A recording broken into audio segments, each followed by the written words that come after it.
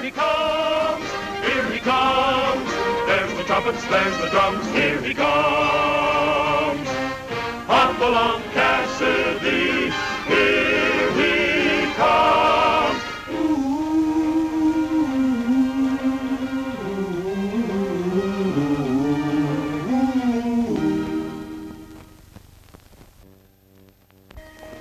I was returning to the bar 20 with my pal Red Connors. We'd been gone longer than I expected, so ran completely out of food. As usual, Red was hungry and complaining. Rather than make him wait until we'd get home at dark, I decided to swing past Clarksville, a ghost town. Titus Clark, owner of the town and an old friend of mine, was its sole survivor. A bad epidemic had hit some years before, and everyone either died or had left. Red said he didn't care how many people lived there as long as there was some food.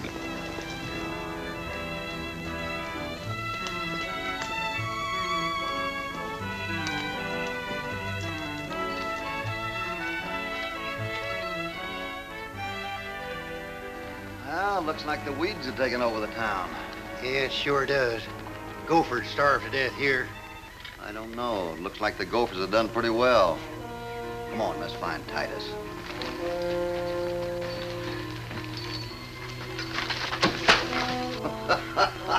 what are you so jumpy about? This is a nice, peaceful place. Where's the food? In here.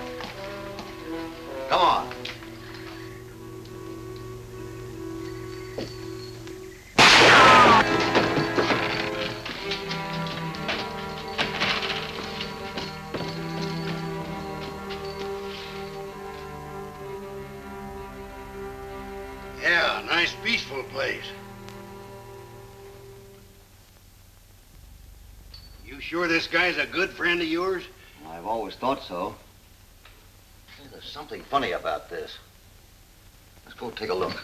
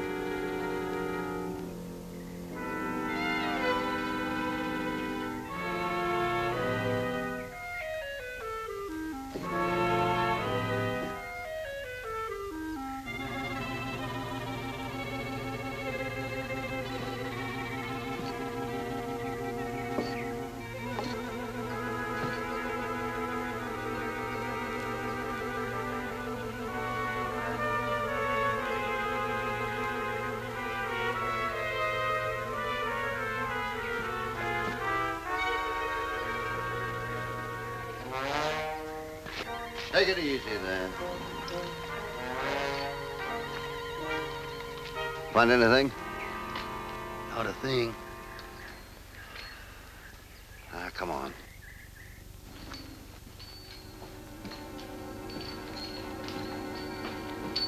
Hoppy, Yeah? I think I'm losing my appetite. No. That's too bad.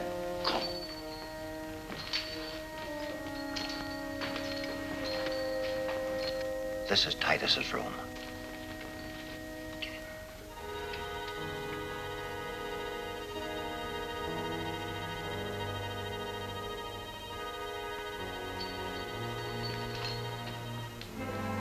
Titus! Titus!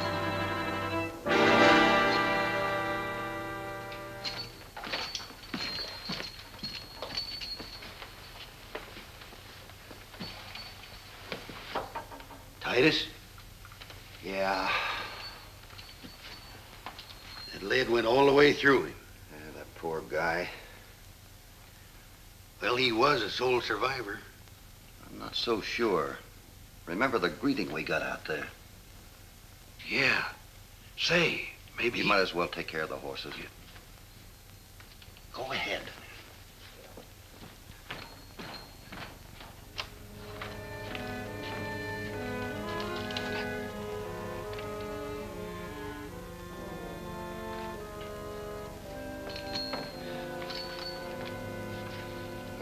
What killed him. It's a bullet from a 30-30 Winchester. Say, Hoppy, don't you think we ought to turn this over to a sheriff? Yeah, I guess we should. You better ride over to the railhead. It's about 10 miles east of here. Sheriff's name is Gordon.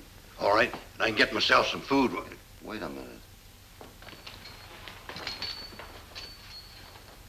You notice anything here? Yeah, food. Not the food. The way the table's set up. Oh, Titus has had a guest, and not too long ago, from the looks of this. hey, two plates.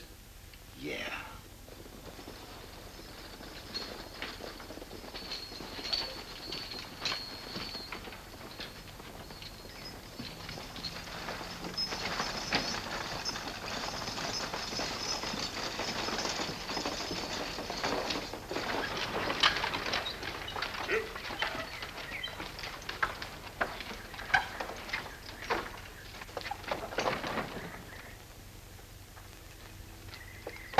Hey, Titus, I got your supplies in mail.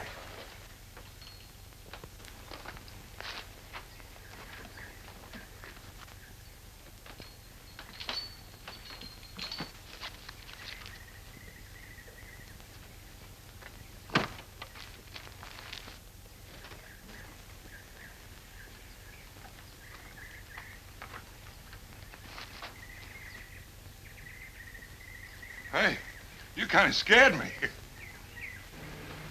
I'm Fred Loomis. I ain't used to seeing anybody around here except old Titus. Howdy, Mr. Loomis. My name's Cassidy. This is Red Connors. Howdy. You friends of Mr. Clark's? Well, uh, yeah. How often do you deliver supplies around here? About every four weeks. He gives me a list of supplies he needs at the railhead, and I fetch him in for him. His mail, too. Titus is dead. No. Heart finally got him, huh? Not his heart, Mr. Loomis. This. In the bank. Well, who would want to do a thing like That's that? That's what we're gonna find out.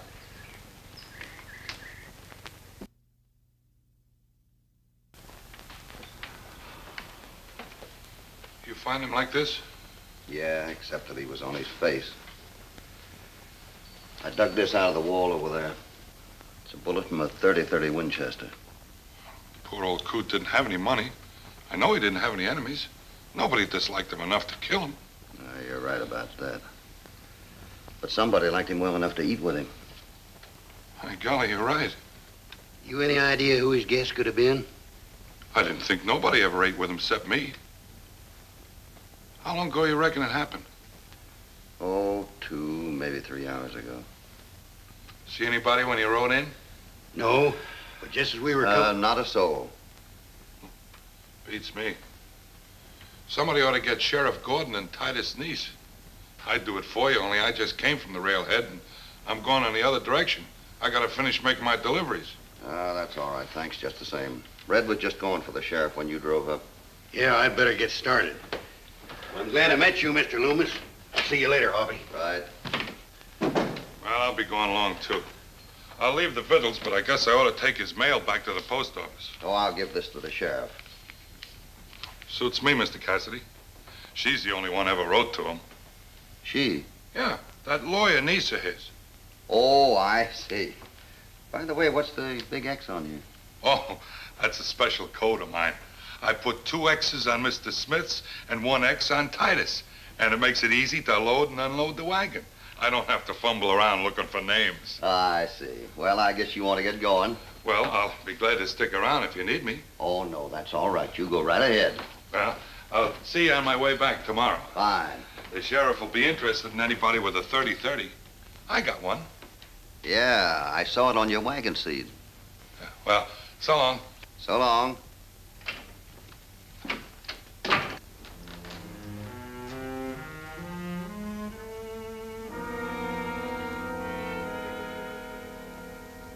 I didn't get much sleep that night, and the following morning I went out to look around. Examination of papers and letters in Titus's desk made me pretty sure of a motive for the murder. I was anxious to see how Carol Madden would take the news of her uncle's death. A woman lawyer, first one I'd heard of in our part of the country.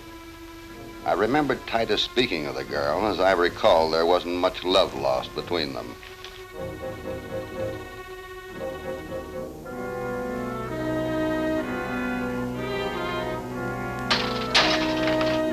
Drop that rifle.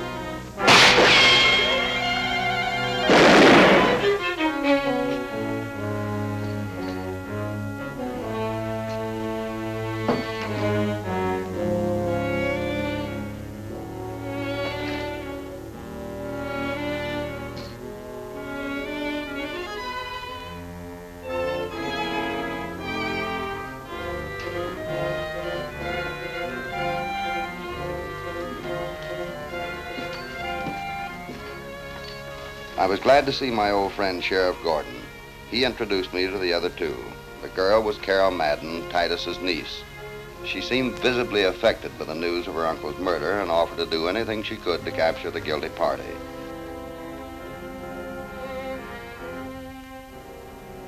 Dick Madden was her husband. They had been married a year. Dick, an arrogant Easterner, wasn't the kind of fellow you'd cotton to quickly. I didn't think he cared whether his wife's uncle had been murdered or lived to be a hundred. I told him they'd better come over to the hotel.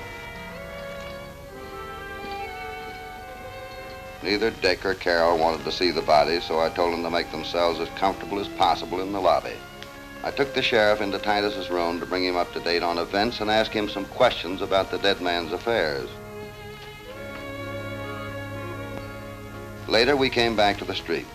The sheriff and I had exchanged views on the case. He couldn't help me much as to the identity of the mysterious ambusher, but we had a definite motive for the killing. Well, I guess the next thing is to have a talk with Carol. Yeah, she must know what's been going on. Why, sure. Her being a lawyer and that airy husband of hers being a civil engineer had a perfect setup. Got it all figured out, huh, Red? Why, it's as plain as day to a half-wit jackrabbit that Mr. Madden had a 30-30 Winchester. Didn't you see it on his horse? Get up! Where you shooting?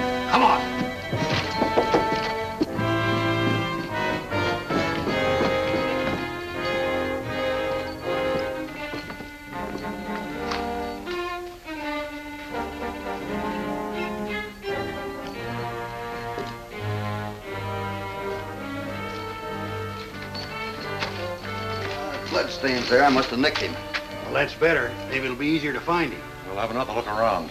We've searched every one of these buildings with a fine-tooth comb. We couldn't find him. He's sure got a good hiding place. Maybe he digs a hole and pulls it in after him. Ah, we got some boot prints here. Maybe we can follow them. Should be some more bloodstains, too. Who's doing the shooting? I wish we knew. He, he Hold it, Red. You two go back to the hotel. We can handle this.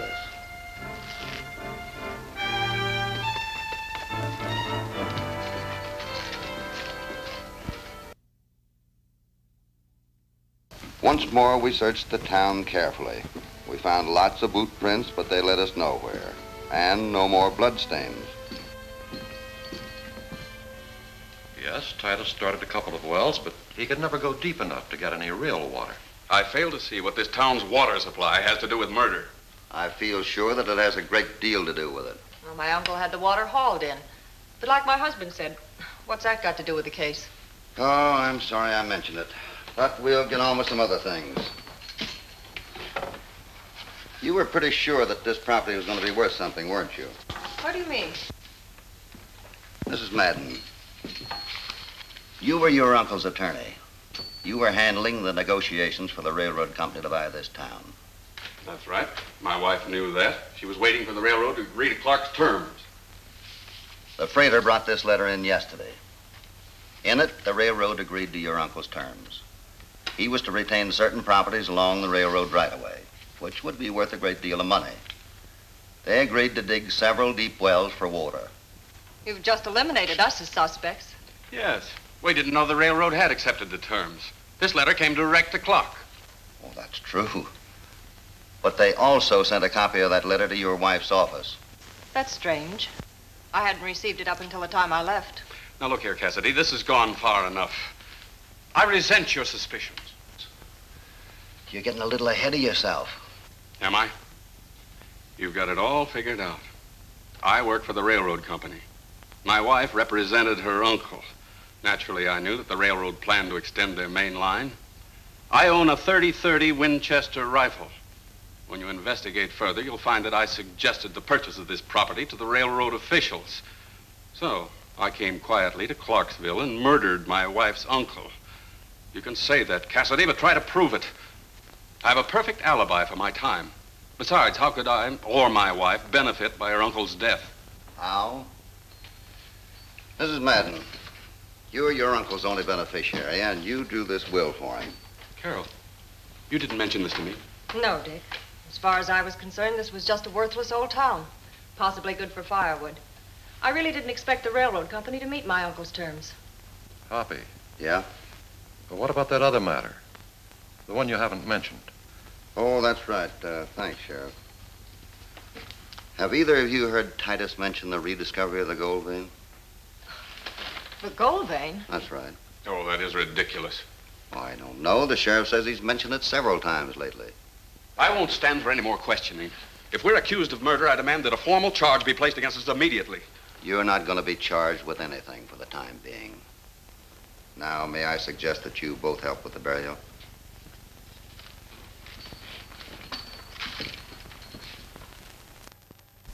While the others went to bury Titus, I was determined to ferret out the hiding place of our mysterious friend, who seemed to possess the cunning of a pack rat. My search was interrupted by the return of the freighter.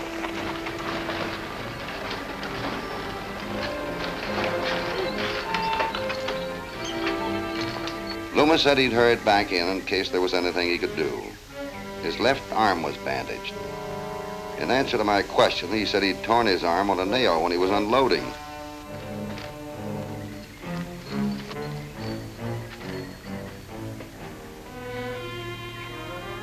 He wanted to attend the burying of Titus and walked off to join the others. I retraced my steps to the hotel. I had to find the water supply.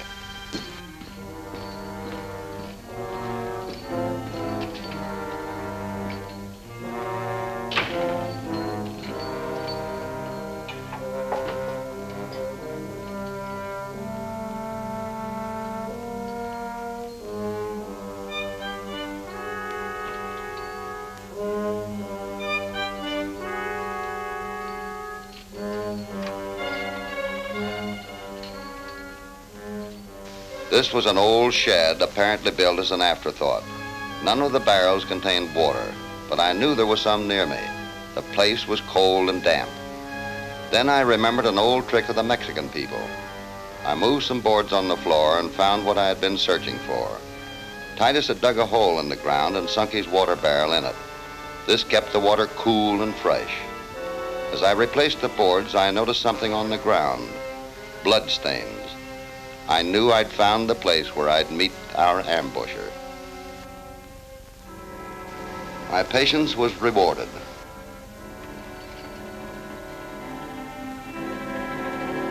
Some time later, an old man carrying a 30-30 Winchester entered. I let him get to the water before I spoke. So there you are. Go ahead, get your drink of water. I want it for my arm where you nicked me.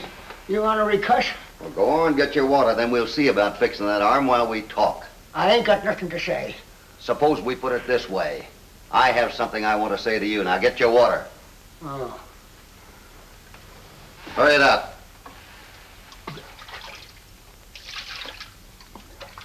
That's enough. Come on.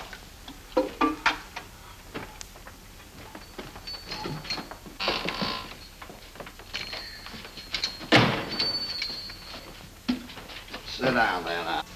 Although he was suffering, the old fella didn't want me to touch his arm. His name was John Henderson. He was just a little tetched, not much background to him. He'd lived in Clarksville when it was a boom town. From time to time, he came back to visit Titus, an old friend. Henderson thought he could find the gold vein again, and Titus had promised him half of it. He'd been sleeping in a cellar under the general store. That's why we couldn't find him. He denied killing Titus and said he didn't have any idea who could have done it. Neither did he hear the shot that ended his friend's life. He admitted that he'd eaten with Titus, and that was the last time he had seen him alive. Later, he'd found the dead body, then saw us riding in. He knew about Loomis coming through, but Loomis didn't know he was living in the town. When I asked him why he was taking pot shots at us, he said he didn't know but what we'd killed his friend. Besides, he didn't want any strangers around when the gold boom struck again. I assured him I was not interested in his dream of wealth. Cautious questioning revealed he didn't know anything about the railroad deal. I started outside to turn him over to the sheriff.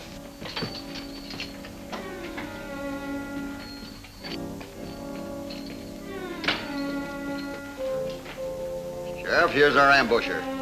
John Henderson. Well, if you're not a sight for my sore eyes, what reason would you have for killing Titus? He says he didn't do it. By golly, he could have at that. Stop lying. You didn't even know I was in town. Oh, I knew you was holed up here all along, Henderson. Well, you dirty put Oh, right on Wait a minute. Well, we may as well get back home. There's not much more we can do. Yeah, I guess you might as well. Well, I suppose you'll go ahead with the railroad deal now that you own this town. Yes. What's this about Miss Carol owning the town? Well, her uncle left her everything in his will. That ain't right. Why not? I'm supposed to get the town if anything happened to Titus. Oh. But that's not what it says in the will. No? Well, read this. It's in Titus' own handwriting, and it's all legal. He gave it to me to protect my interests. He must have known something was going to happen to him. He owed me a lot of money, and he said when the railroad came through, he'd pay me well. It says so right there. Well, this is Titus's handwriting, all right. And you're also right in assuming that he was afraid something was going to happen to him. That paper isn't legal. Yeah? Well, wait till I get to the railhead, and I'll hire myself a real lawyer. You're going to need one, Mr. Loomis. What are you talking about? It's too bad you never learned how to read. Who says I can't read? Well, if you could, you'd have never given me this. Listen to what it says. To whom it may concern, Fred Loomis plans to kill me. He knows about the railroad wanting to buy my property and has tried to force me to give him a bill of sale. I have not told him about my will in order to protect my niece, Carol Madden. Signed, Titus Clark. Well, Loomis? You're lying. Loomis, I knew you couldn't read yesterday when you gave me that envelope and said it was from Titus's niece. It was actually from the railroad. You're talking through your hat, mister. When the postmaster gives you letters, he tells you who they're for, and you put your own marks of identification on them. You're just guessing. No, no, Loomis. I went out on the road. I found out where you'd pulled your wagon off to one side. You got out and walked back into town. You shot Titus without Henderson even knowing you were here. Then you went back to the wagon. Then you drove back into town like nothing had happened. So, we're taking you in for murder. Oh, no, you ain't. Drop those guns.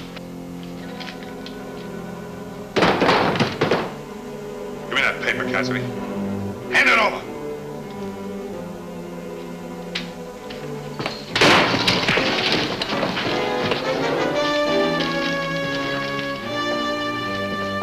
Why, Hoppy, this don't say nothing about Loomis threatening Titus. Doesn't? Well, maybe I'd better learn how to read. Oh, Here it says, to whom it may concern, I owe Fred Loomis $9.63 for supplies, leastwise he claims I do. Should anything happen to me before I pay him, I want my heir, Carol Madden, to give him the $9.63 out of the money I leave her. Thank you, and it's signed Titus Clark right there. Sure it is. And the word is heir, not hair.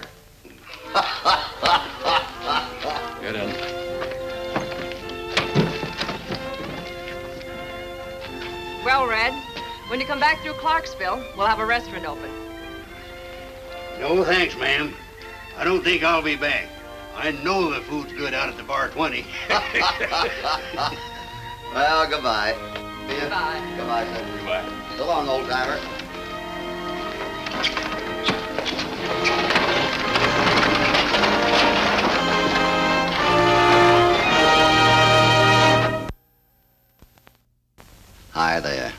Friends, this is the first time in the five years since you've been kind enough to invite me into your homes on television that I've taken the liberty of speaking to you personally.